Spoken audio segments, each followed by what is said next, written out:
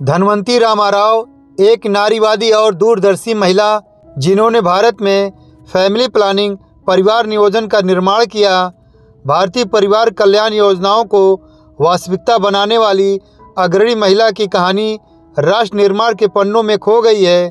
नमस्कार दोस्तों, स्वागत है हमारे चैनल पे। दोस्तों, अगर वीडियो अच्छी लगे तो लाइक, शेयर और चैनल को अभी तक सब्सक्राइब नहीं किया है तो चैनल को सब्सक्राइब कर लें। ताकि ऐसी जानकारियाँ आपको हमेशा मिलती रहे। दोस्तों धनवंती रामाराव के कर्मठ प्रयासों के कारण भारत विकासशील देशों में उन्नीस सौ बावन में एक राष्ट्रव्यापी परिवार नियोजन कार्यक्रम शुरू करने वाला पहला देश बन गया।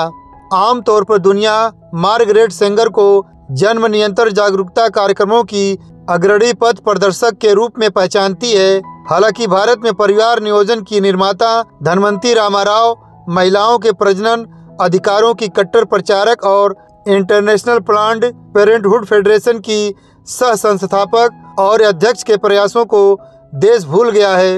एक नारीवादी और दूरदर्शी धनवंती ने महसूस किया कि देश की अधिकांश समस्याएँ परिवार नियोजन की कमी से उत्पन्न हुई है। उनके कर्मठ और एकाग्र प्रयासों के कारण भारत विकासशील देशों में उन्नीस सौ बावन में एक राष्ट्रव्यापी परिवार नियोजन कार्यक्रम शुरू करने वाला पहला देश बन गया। इस कार्यक्रम का उद्देश्य जन्म नियंत्रण, सुरक्षित मातृत्व, बच्चों का पालन पोषण, परिवार कल्याण और बाल विवाह के खिलाफ अभियान शामिल है। आइए पद्म भूषण विजेता और भारत के परिवार नियोजन कार्यक्रम की संस्थापक धनवंती रामाराव के बारे में जानते हैं। धनवंती आर रामाराव का जन्म हुबली अब कर्नाटक में, धनवंती हांडू, एक कश्मीरी ब्राह्मण परिवार में, अठारह सौ तिरानवे में हुआ था।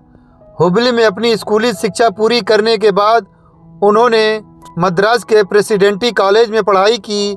क्वीन मैरी कॉलेज में उच्च शिक्षा पढ़ाने वाली पहली भारतीय महिला में से ऐसे समय में जब लैंगिक भूमिकाओं ने महिलाओं को जकड़ रखा था और पढ़ाई करना परंपराओं के विरुद्ध था। वह मद्रास में अपने पति वेनगल से मिली और शादी की और बाद में दोनों लंदन बस गए। लेकिन धनवंती ने बाद में अपने मेमायर में उल्लेख किया कि 1930 के दशक की शुरुआत में एक विदेशी भूमि में एक फ्लैट खरीदना बहुत कठिन था। धनवंती ने अपने शुरुआती वर्षों में भारतीय स्वतंत्रता के लिए अभियान चलाने वाली कई संगठनों के साथ काम किया। सरोजनी नायडू के कहने पर उन्होंने मताधिकार और सम्मान नागरिकता के इंटरनेशनल अलायंस ऑफ़ वीमेन में भारत का नेतृत्व किया।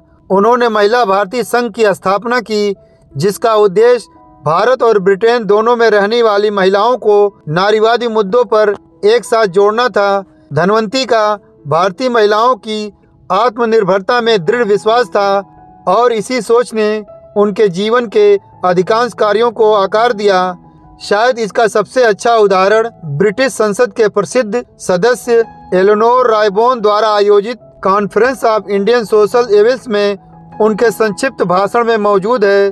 1941 में जैसे ही देश स्वतंत्रता की ओर बढ़ा धनवंती वापस बॉम्बे आ गईं, जहाँ उन्होंने देश के महिला संगठनों के साथ काम करना शुरू किया। इस बीच वह क्षेत्र की मलिन बस्तियों की उपेक्षित और विकट परिस्थितियों से परेशान थी। साथ ही उन्होंने देखा कि बंगाल अकाल जैसी स्थितियों के साथ देश में स्थितियाँ बिगड़ती जा रही हैं और यह ध्यान दिया कि कैसे बढ़ते आर्थिक गैप और गरीबी के बावजूद बच्चों को जन्म देना जारी रखा। उसने जल्दी ही महसूस किया कि जन्म नियंत्रण ही देश की अधिकांश समस्याओं का एकमात्र उत्तर है।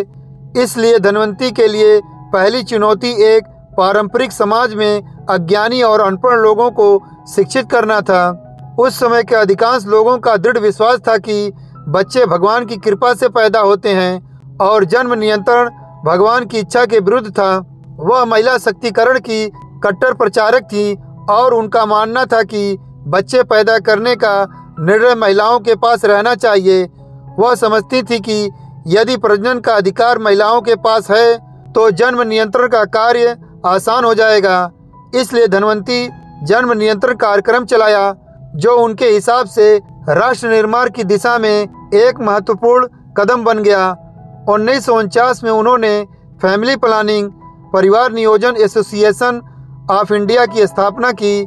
यह सब भारत में जनसंख्या नियंत्रण के क्षेत्र में काम करने वाला सबसे बड़ा गैर सरकारी संगठन था, जिसके गहन जागरूकता प्रयासों से भारत के परिवार नियोजन कार्यक्रम को वैश्विक मान्यता मिली और कई देशों ने इसे अपने राष्ट्रीय एजेंडे के एक भाग के रूप में अपनाया। दिलचस्प बात यह है कि उन्होंने अपने परिवार नियोजन जागरूकता कार्यक्रमों के लिए पुरुषों को लक्षित किया, क्योंकि महिलाओं की तुलना में पुरुषों के लिए उपचार आसान होते हैं। इसके अलावा, अगर पुरुषों को एक छोटे परिवार के मूल्य का एहसास होता है तो वे या तो इलाज करवाएँगे या अपनी पत्नियों को इसके लिए प्रोत्साहित करेंगे।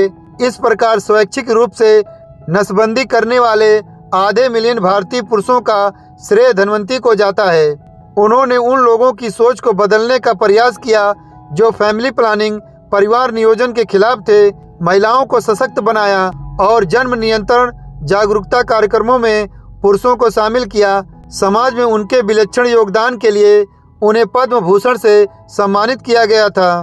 धनवंती ने 1977 में अपनी आत्मकथा An Inheritance The Memoirs of Dhanvanthi Rama Rau प्रकाशित की, जो अपने पाठकों को उनकी यादगार जीवन यात्रा के अनूठे मील अनुभव से परिचित कराती है।